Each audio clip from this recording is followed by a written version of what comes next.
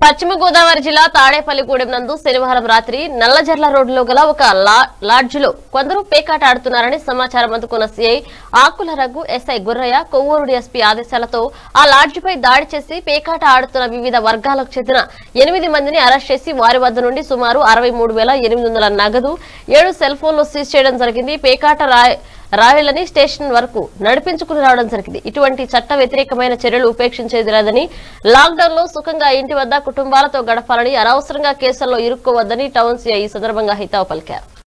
అందరం వెళ్ళి మా డిఎస్పీ గారి దగ్గర సెర్చ్ వారెంట్ తీసుకుని అక్కడ రైడ్ చేయడం జరిగింది.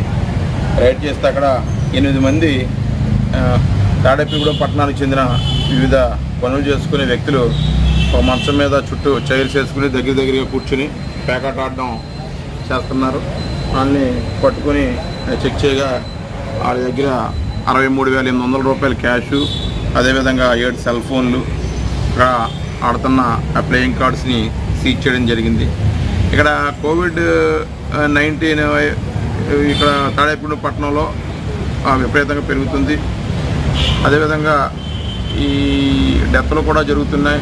జనాలందరికీ కూడా అవేర్నెస్ కలిగించడానికి పోలీస్ కానీ మిగతా డిపార్ట్మెంట్స్ కానీ ప్రయత్నం చేస్తున్న సందర్భంలో కూడా ఎటువంటి బాధ్యత లేకుండా ఎటువంటి కనీసం ఇంగిత జ్ఞానం లేకుండా వీళ్ళు ఒక రూములో దగ్గర దగ్గర కూర్చుని పేకాట ఆడుతున్నారు దీనికి సంబంధించి మేము పేకాట ఆడుతున్నందుకు ఆ three and four AP gaming act అదేవిధంగా వైరస్ను స్ప్రెడ్ చేయడానికి అవకాశం ఉంటుంది కాబట్టి ఆ two sixty nine two seventy one sections IPC అదేవిధంగా డిజాస్టర్ మేనేజ్మెంట్ యాక్ట్ ఇవన్నీ సెక్షన్ మీద కేసు నమోదు చేసి వీళ్ళందరినీ అరెస్ట్ చేయడం జరిగింది.